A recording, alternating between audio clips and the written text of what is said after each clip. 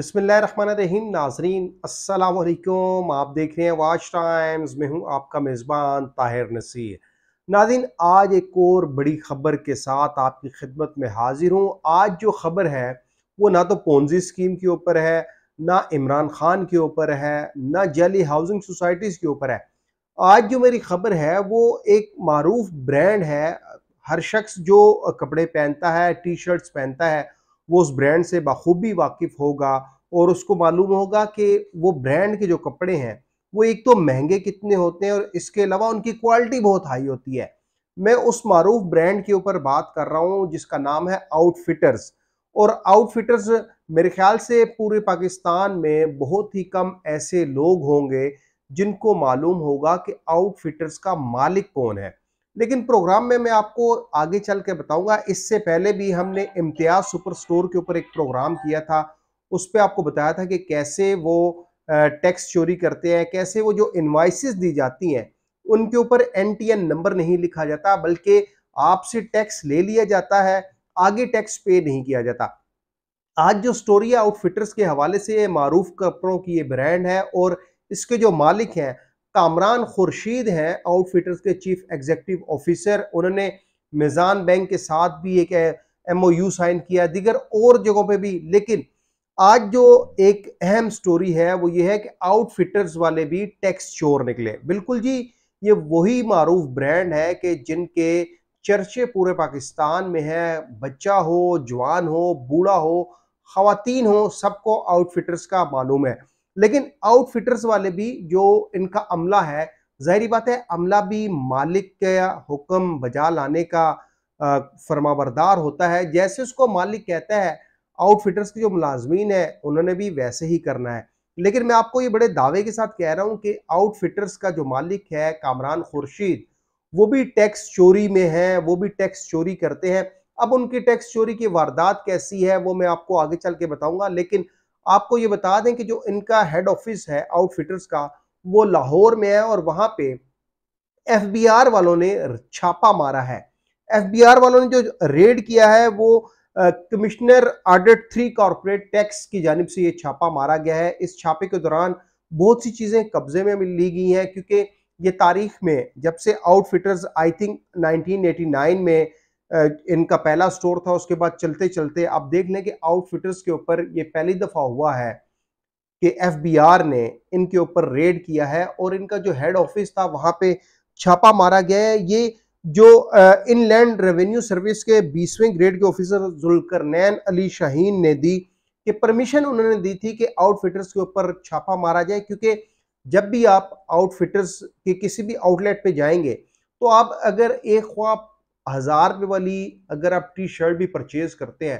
तो उस एक हज़ार में भी वो आपसे टैक्स लाजमी काटते हैं। लेकिन ये आगे टैक्स पे नहीं करते। इनकी अक्सर रसीदात ऐसी होती हैं कि जब आप इनसे एक, दो हज़ार की, तीन हज़ार की कोई भी शॉपिंग करते हैं तो ये आपको जो रसीद देते हैं, उस रसीद के ऊपर एन टी एन नंबर नहीं लिखा जाता, बल्कि ये इसी तरह एक रफ सी रसीद कंप्यूटर से निकालते हैं, आपको मुहैया कर दी जाती है और जो ग्राहक है वो ये समझते हैं कि इनसे जो टैक्स काटा गया है, हो सकता है कि वो टैक्स भी F B R federal board of revenue को जाता हो, लेकिन हकीकत इसके बिल्कुल बरअक्स है, क्योंकि अगर कामरान खुर्शीद जो आउटफिटर के मालिक हैं, अगर वो टैक्स चोर ना होते तो कभी भी एफ़ बी आर के हुकाम, इनके जो हेड ऑफ़िस लाहौर में है, वहाँ पे छापा ना मारते। लेकिन जो आउटफिटर्स है, इस के ऊपर जब रेड किया गया तो वहाँ से जो एफ़ बी आर हुकाम है, उन्होंने लैपटॉप कब्जे में लिए कंप्यूटर कब्जे में लिए और दीगर बहुत सारे कार्ड कब्जे में लिए, क्योंकि अब इनका ऑडिट भी होना है और कुछ इतलात ये भी हैं कि आउटफिटर्स जहाँ से माल मंगवाते हैं, जिस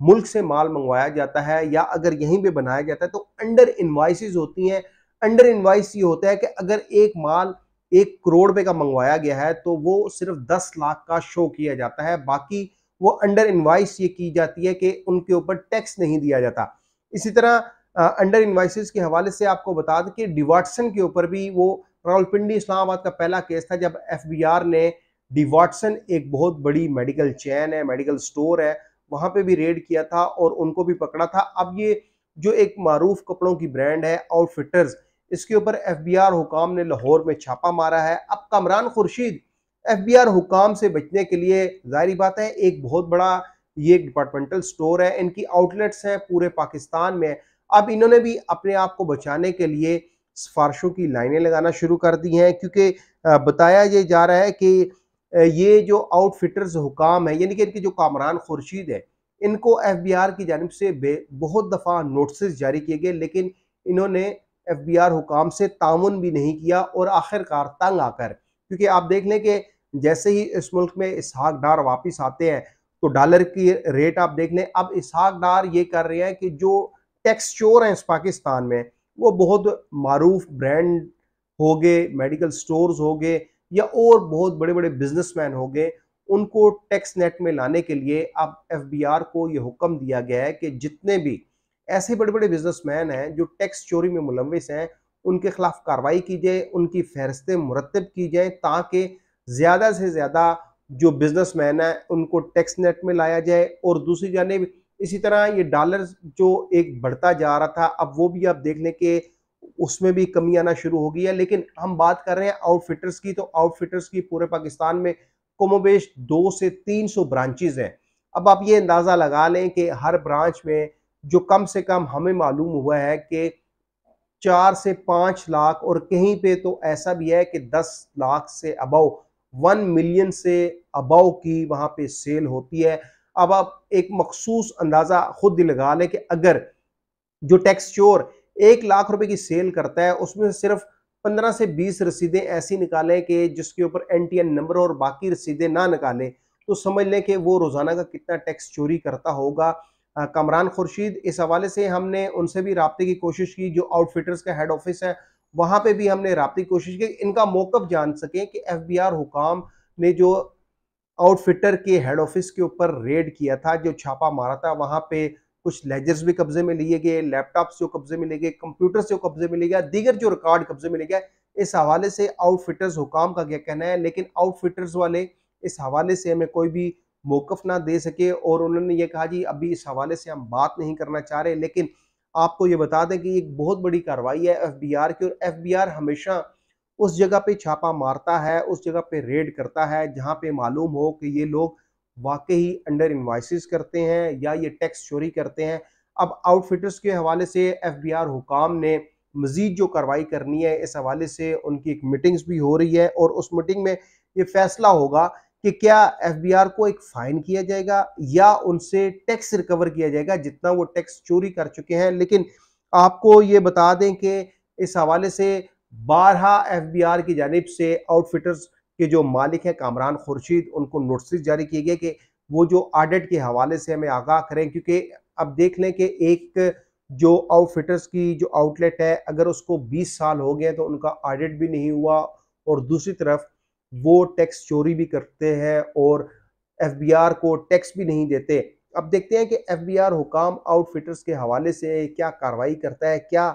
कहीं नून लीग की गवर्नमेंट जो है वो आ गई है या पंजाब में पाकिस्तान तहरीक इंसाफ की गवर्नमेंट है, कहीं ऐसा तो नहीं, सिफारशों की लाइनें लगने के बाद दोबारा आउटफिटर्स को खुली छुट्टी दे दी जाए। एक आउटफिटर नहीं है, आप देख लें कि शर्ट एंड टाई एक ब्रांड है, आप वहाँ पे चले जाए दीगर और कई ऐसे ब्रांड हैं पाकिस्तान में, जिनकी आउटलेट्स पूरे पाकिस्तान में है, लेकिन वो भी टैक्स चोरी करते हैं। अब आउटफिटर्स के ऊपर क्यों छापा मारा गया? एफबीआर हुकाम, क्या कार्रवाई करेंगे? ये आने वाले दिनों में पता चलेगा। लेकिन एक बड़ी खबर थी कि मारूफ कपड़ों के ब्रांड के ऊपर, जो इनका हेड ऑफ़िस है आउटफिटर पर, वहाँ पे एफ़ ने छापा मारकर उनका रिकॉर्ड कब्जे में ले लिया है। अगले प्रोग्राम तक लिए अपने मेजबान ताहिर नसीर को इजाज़त दीजिए। अल्लाह हाफिज़।